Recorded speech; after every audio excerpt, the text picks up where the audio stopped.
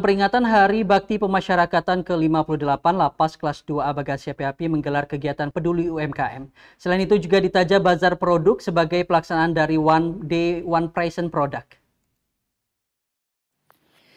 Jelang peringatan Hari Bakti Pemasyarakatan ke-58, 27 April mendatang, Lapas Bagan Siapi-Api telah menggelar sejumlah kegiatan seperti pertandingan olahraga antar warga binaan, perlombaan azan, lomba ayat pendek, dan mengaji bagi warga binaan.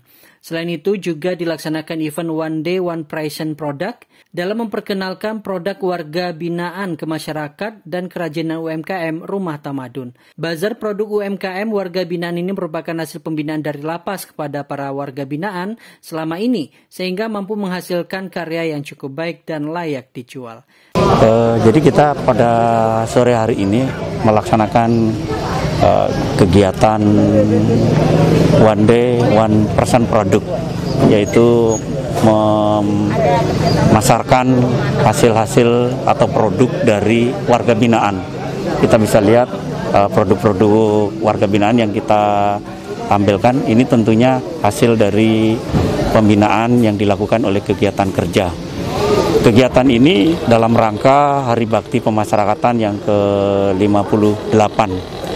Pada sore hari ini kita juga uh, selain one day one person produk juga kita menyerahkan satu gerobak kerjasama dengan Basnas Kabupaten Rokan Hilir yang kita serahkan kepada uh, Ibu Erviana tadi uh, dia bergerak di UMKM yang ada di sekitar kita. Mudah-mudahan gerobak ini bermanfaat kepada yang bersangkutan. Dalam acara ini juga diserahkan bantuan satu unit gerobak kepada pelaku usaha kerjasama dengan Basnas Rokan Hilir.